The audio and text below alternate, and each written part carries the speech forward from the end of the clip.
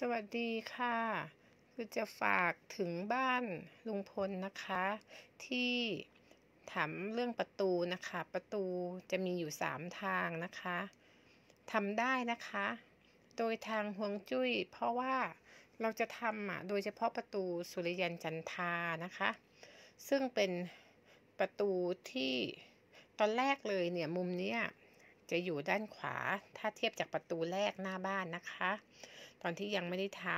ำแต่พอเราทำแล้วเนี่ย ประตูสุริยันจันทาเนี่ยจะกลายมาเป็นหน้าบ้านเราทันทีนะคะ พระราชวังยังมีประตูได้สามด้านเลยค่ะ และอีกอย่างหนึ่งบ้านคุณลุงเนี่ยคนก็จะเยอะจะมีความวุ่นวาย พอมีสารพระพรหมเนี่ยเข้ามาคนก็เลยจะยิ่งเยอะจะมีเรื่องเยอะมากขึ้น จึงต้องมีประตูสุริยันจันทานะคะ ซึ่งประตูนี้จะมีความเป็นมงคลอย่างสูง เป็นเคล็ดขั้นสูงในทางห่วงจุ้ย ซึ่งหันหน้าไปทางด้านหน้าถ้าเราไปยืนตรงหน้าประตูสุริยันจันทานะคะ เบื้องหน้าเราเนี่ยเรียกว่าหงแดง ตามหลักฮวงจุ้ย หน้าน้ำหลังภูเขานะคะ ข้างหน้า เป็นหงแดง ยืนหันหน้าออกไป ซ้ายมือจะเป็นมังกรเขียว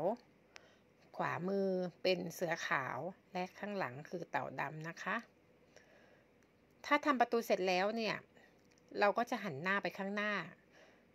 เป็นน้ำก็คือพญานาค ปู่พลาลิจิตนะคะ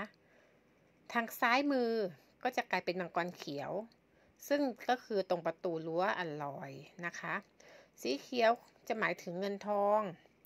คราวนี้ทางซ้ายก็จะเป็นบ้านเป็นออฟฟิศนะคะ ก็จะเป็นเงินทอง กิจการค้าขายก็จะมีเงินมีทองเข้า และมังกรเขียวตามหลักก็คือต้องกว้าง ซึ่งก็กว้าง เงินทองก็จะมีการเข้ามาอย่างเยอะมากมายนะคะ ส่วนขวามือ เสือขาว ถูกต้องแล้วค่ะ หลังบ้าน เก่าก็คือไม่มีประตูนะคะ ทางขวามือ อันนี้ก็จะเป็นถูกต้องจะมีความมั่นคงนะคะ มีอำนาจนะคะ และก็ ควรมีห้องน้ำก็ถูกต้องแล้วห้องน้ำมุมที่อยู่ตรงนั้นถูกต้องแล้ว เท่ากับว่าถ้าทำประตูสุริยันจันทาเนี่ย ก็จะปรับหมดทางบ้านเลยค่ะ คือ